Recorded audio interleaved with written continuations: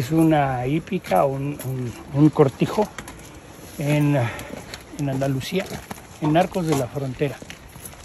Nos invitó Antonio Rodríguez de la Borbolla.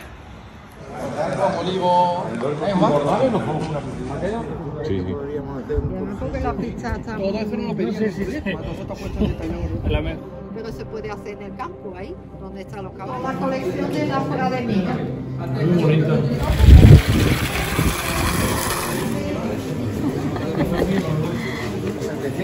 Oye, cabreala un poco para los rodillas. En Córdoba, más curiosita para operar.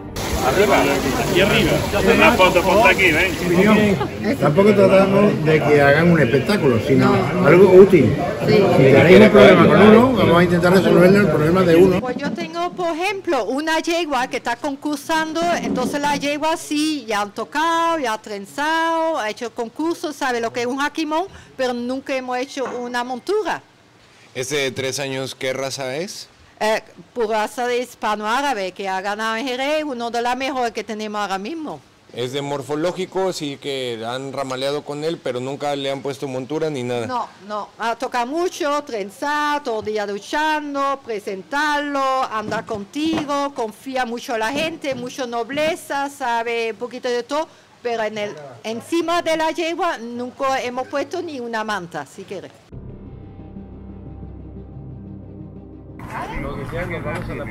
¿Vamos a la pista? No, no, hombre, la pista para que no des- Mira, Teresa, sin limpiar ni nada. Mira. Gracias.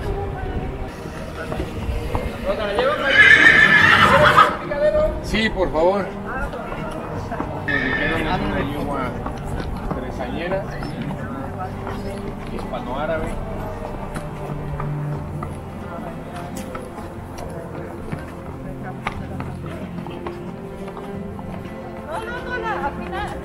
Vale, vale.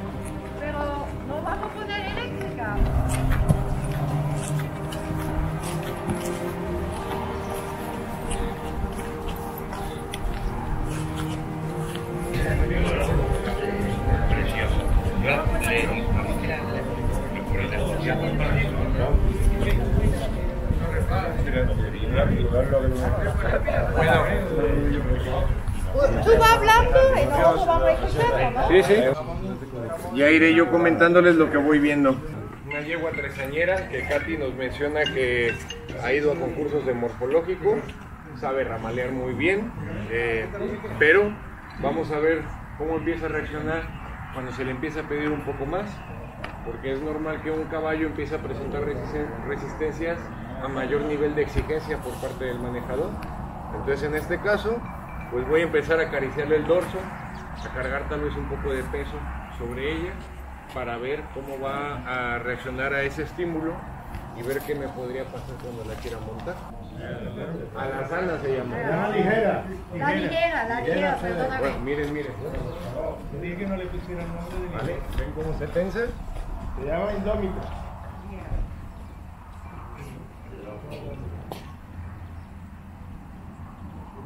Entonces yo lo que tengo que ir haciendo es convencerla que no se tense.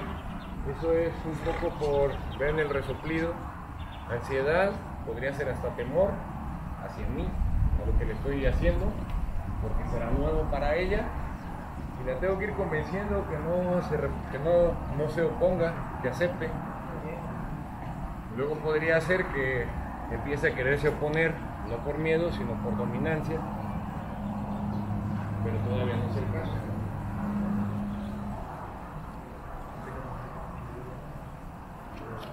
El ramal nos gusta tenerlo siempre flojito, no tenerla tensa, que ella esté, pero con convencimiento, que acepte lo que le pido. Guillot, ¿tú crees que tu, tu altura te beneficia? Eh, es un arma de dos filos. Me beneficia para poder montar y desmontar fácilmente. Me beneficia con caballos que no se dejan poner la cabezada, por ejemplo, y tienden a levantar la cabeza e ir para atrás. Porque los caballos hacen una serie de acciones que siempre les da resultado. Si el caballo cuando levanta la cabeza, tú te quedas con las manos aquí con la cabezada, se salió con la suya. Entonces, si empieza a levantar la cabeza, yo subo la mano y ahí me beneficia la estatura. El problema es si el caballo se llega a botar, es muy fácil que yo me desequilibre más que una persona bajita, porque el centro de gravedad lo tenemos en la cintura. Entonces, por, por- normal. Por tener, por tener el tronco tan largo, pues es más fácil que yo pierda el equilibrio. Pero entonces, ahí lo que hay que hacer es desmontar y hacerle ver que está mal desde el suelo. Llevas toda la razón. Era un poco de broma, tal, pero con... Y quiero que se quite de su lugar para que me lo ceda. Siempre que haga lo que yo quiero, tengo que premiarla.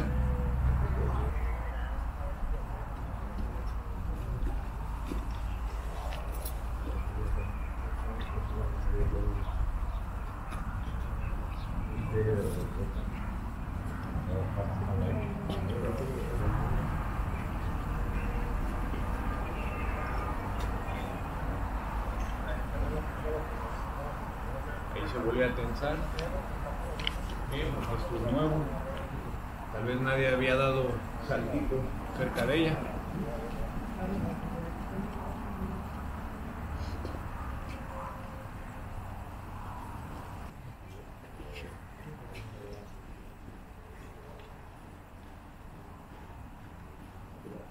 ¿Y yo tú crees que afecta considerablemente que estemos todos aquí delante? Llega a influir, pero no es un factor que yo tenga que buscar las condiciones que favorezcan más eh, el manejo, en este caso que no se distraigan. Nosotros no necesitamos, por ejemplo, un corral redondo cerrado para evitar que el caballo mire hacia afuera. Si se distrae, le llamo la atención y ya está.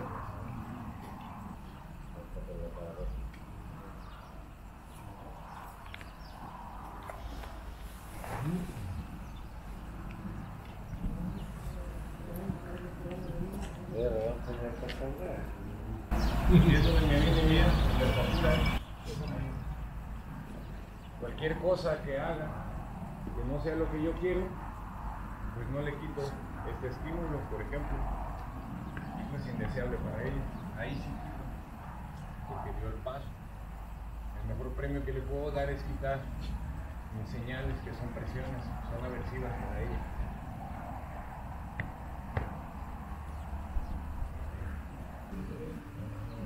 ir consiguiendo que pierda sus temores para que no, no nos dé reacciones. Yo quiero respuestas, no reacciones.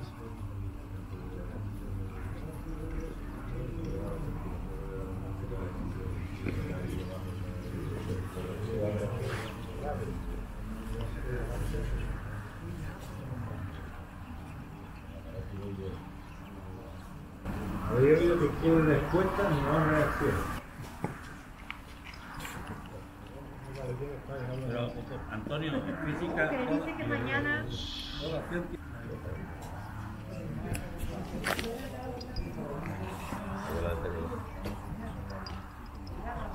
Si se mueve, yo me quedo arriba. Hasta que se quede quieta, me bajo. Si no quiere que esté arriba, el mensaje es: ¿Quieres que me baje? Acepta que esté arriba para poder bajarme. Pero si tú te mueves, no me bajo.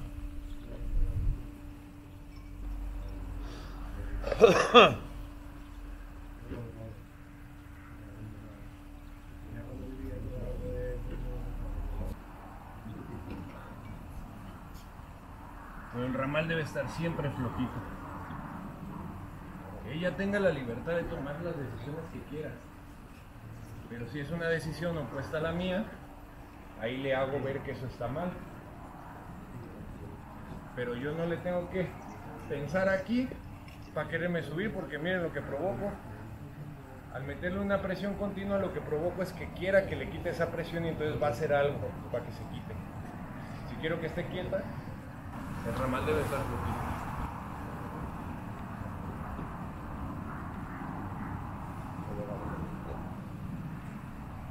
estoy listo para llamarle la atención en el ramal, pero solo si es necesario.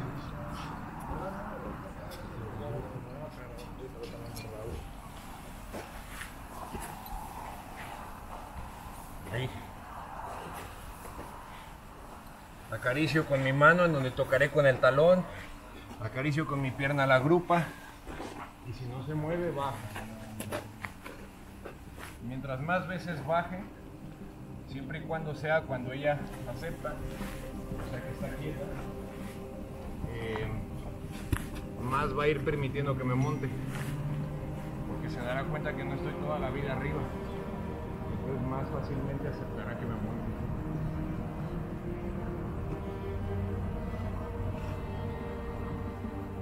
Ahí se tensa, me pongo listo otra vez para bajar.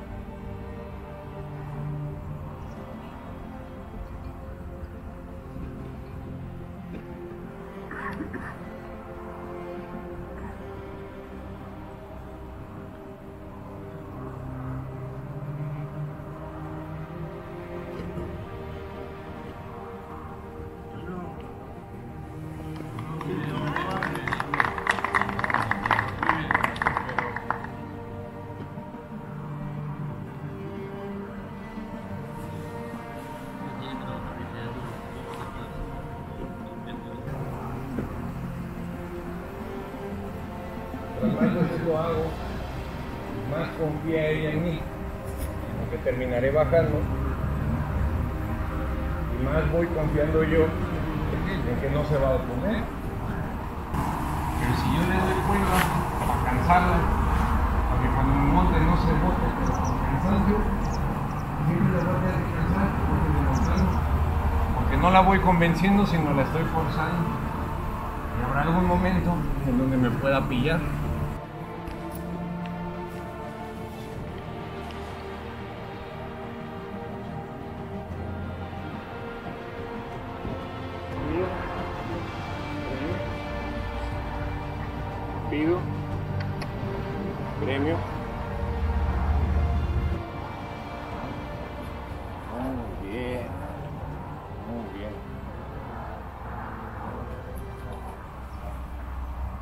Es suficiente para un día, no hay que abusar demasiado. Ya, pero también hay que considerar que tienes que estar sudando.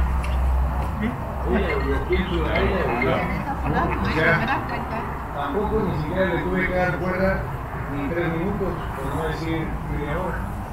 O sea, no es mucho pedirle a ella ponerle ahora la montura y caminar un poquito con ella. Eh, también eh, ponemos en práctica el principio de de Oliveira, uno de los tres principios del manejo del caballo, que es de la empatía y de la justicia. De Nuno de Oliveira, con autoría con Chico Ramírez, es pide poco, confórmate con menos y agradece mucho.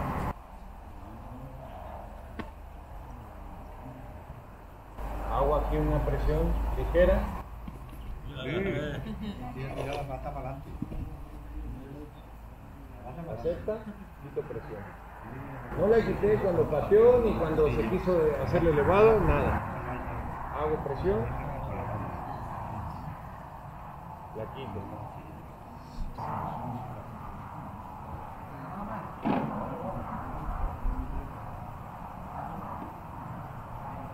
Ya está. Ahora vamos a la montura. Para ver a ella. Que ella haga el trabajo de perderle el temor.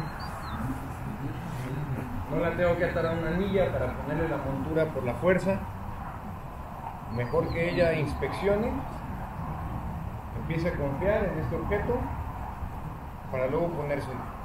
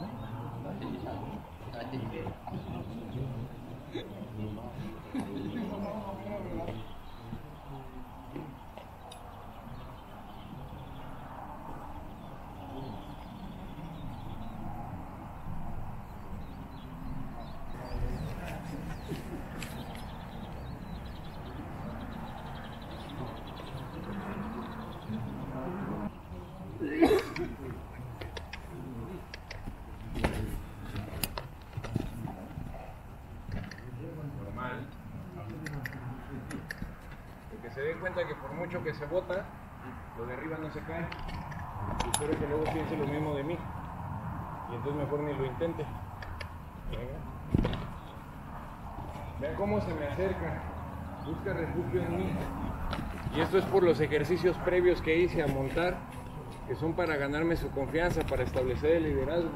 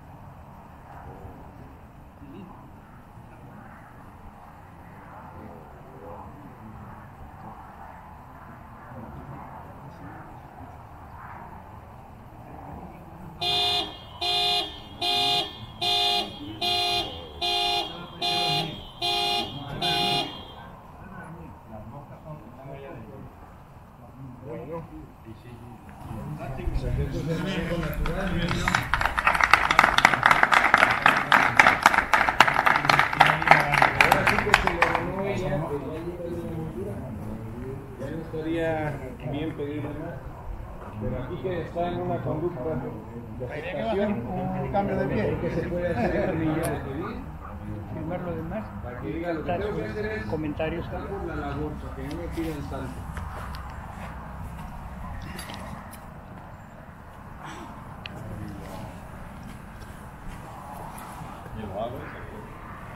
Eso.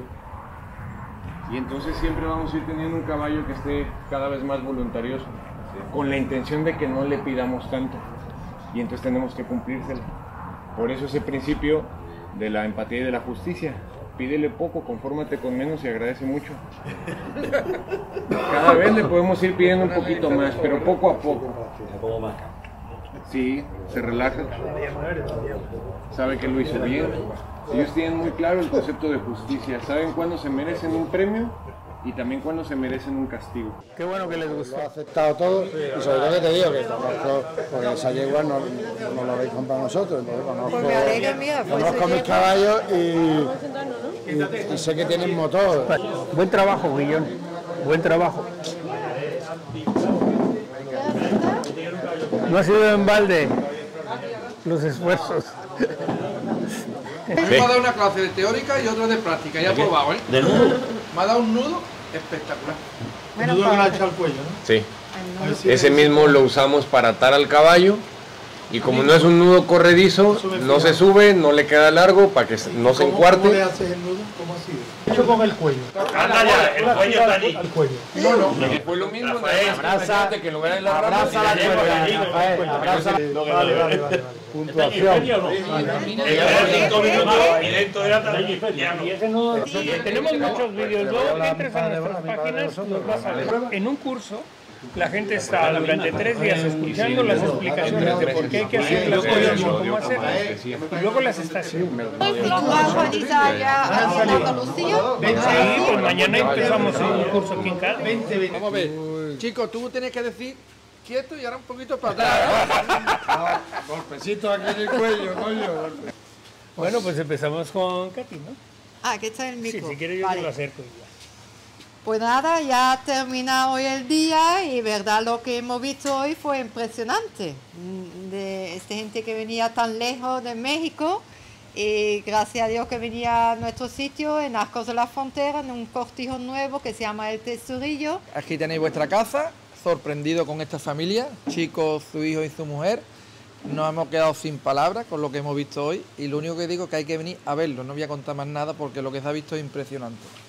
Bueno, tan impresionante como el lugar que nos está mostrando Katy y Pedro.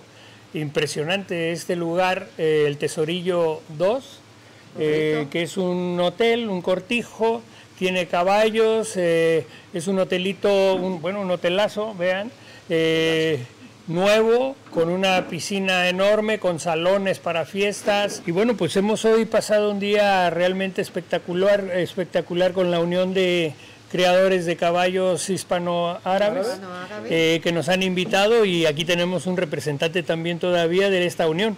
Y además dueño de la yegua que montó No, Guillón. no, yo estoy encantado. La yegua que ha, ha montado yo me he quedado impresionado. Porque la, la hemos criado y sé cómo son mis caballos y, y la verdad es que ha hecho con ella lo que le ha dado la gana. O sea que no ha guiñado las orejas en ningún momento, ha estado tranquila, la ha dominado, la- la- ha, ha conseguido que la yegua se fiara de- del, del- del jinete que la iba a montar y ha hecho con ella, la- ha hecho con ella lo que le ha dado la gana. ¿eh?